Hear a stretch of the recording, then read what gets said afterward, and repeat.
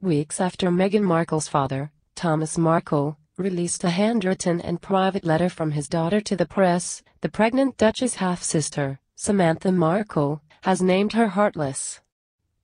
The letter, which we decided not to publish extracts from out of respect to the mother-to-be, lays bare the former actress' anguish after her wedding, which her father failed to attend. The deeply personal note was clearly released without the philanthropist's consent and was not meant for public consumption. Now Meghan's elder sister has spoken again to the press, this time for Channel 5 documentary Meghan and the Markles, A Family at War. Samantha used her platform to detail how her sister, who was a UN ambassador prior to her relationship with Prince Harry, is heartless. She doesn't have a heart or she would been doing everything she could to make him comfortable and reciprocate, and be loving and gracious, and make sure he's comfortable in his old age. Samantha detailed, so broken heart? No, his heart is broken. She can't turn herself into the victim here. Regarding the private letter, 54-year-old Samantha suggested it was actually intended to be publicly scrutinized. That letter was strategic, it was so elegantly written and contrived. Samantha's gripes appear to have sprung from a controversial comment made by Prince Harry on BBC Radio 4 in 2017, in which he commented, She's done an amazing job, you know it's the family I suppose she's never had. However, the documentary notes that prior to this comment, Samantha had already named her younger sister a narcissist and a social climber. No matter who started this rift, it seems pretty bad taste to call a pregnant philanthropist heartless, but maybe that's just us.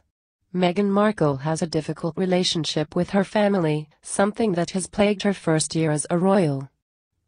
The Markles as a whole have created a lot of drama around the now Duchess of Sussex from estranged nephew Tyler Dooley naming his cannabis business after her to her father Thomas Markle continuously engaging with the press, despite Meghan's reported pleas for him not to. The most noise however has come from Meghan's half-sister Samantha Grant, now going by Markle. From her remote appearance on Celebrity Big Brother, and her turning up to Kensington Palace with a camera crew to surprise the Duchess, to her selection of Meghan's due date as the release date for her tell-all book, it's safe to say that Samantha doesn't have Meghan's best interests at heart. This was proved once more this week, as Samantha made yet another loaded statement about the Duchess of Sussex, particularly in reference to the leaking of a personal letter from Meghan to her father the publication of which is said to have left Meghan heartbroken. Appearing on Channel 5 documentary Meghan and the Markles, A Family at War. Samantha voiced her thoughts on the subject and unsurprisingly, she wasn't in Meghan's corner. She doesn't have a heart or she would been doing everything she could to make him comfortable and reciprocate, and be loving and gracious, and make sure he's comfortable in his old age, the 54-year-old explained. So broken heart? No, his heart is broken. She can't turn herself into the victim here. Going on to talk about the personal letter, Samantha went on to voice her opinion that Meghan had intended for her letter to be published, stating that letter was strategic, it was so elegantly written and contrived.